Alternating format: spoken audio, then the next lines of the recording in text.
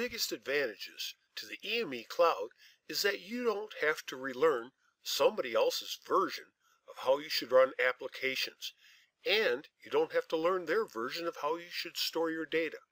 So let's take a look at how EME Cloud makes your life easy. We simply click on the cloud and let's pick the Online Storage Viewer.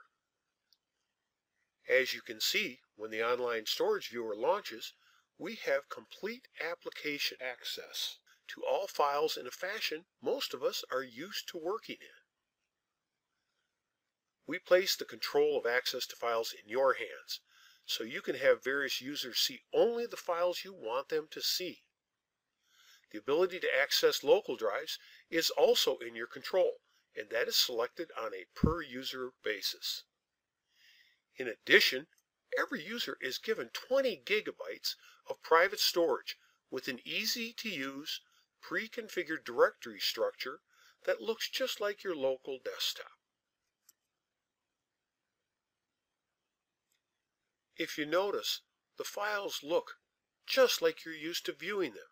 In fact, if you wish to change the views, you can simply go out and change to whichever format you would like to be able to look at these files in. Now, isn't that great? So, what stops someone from accidentally, or heaven forbid, deliberately copying a virus and running it on the cloud? Well, we at EME Cloud prevent this by doing three different checks on each and every application that's run from the cloud. First and foremost, we create a unique checksum file that's built on MD5 for the application. This checksum file is a unique identifier for every given application.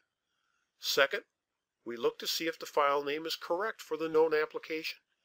And finally, we make sure that the file size is an exact match if all three of these match, then the application can run. I'm going to attempt to put an application in here by pasting it directly into the sales directory. We call this the Google Crash Handler. Sounds pretty dangerous, doesn't it? If we click on the application and try to launch it, we get this message that warns us that we need to contact our system administrator in order to run this application. This prevents us from getting viruses up in the cloud. To bring up any file here, you simply double click the application and it'll bring up the application in the file just like you're used to running them. This way you can modify them, work with them just like you've been used to on your local machine. You can also launch applications right from the tablet and work from them here. In this case, we're going to bring up Microsoft Word and launch that application and create our quarterly sales report.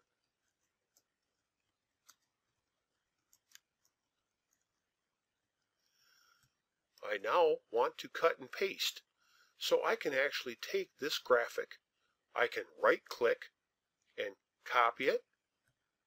I can go over here and I can even use the shortcuts of Control C and Control V in order to put the graphic directly in here.